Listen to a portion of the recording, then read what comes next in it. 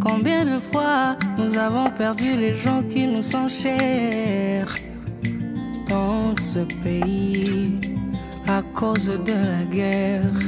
L'espérance de vie baisse pour ces cœurs abattus qui n'ont plus d'espoir.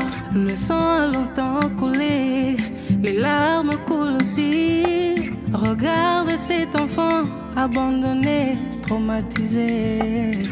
Son futur est sombre, ses rêves sont étouffés. Donne-lui un sourire, il ne veut que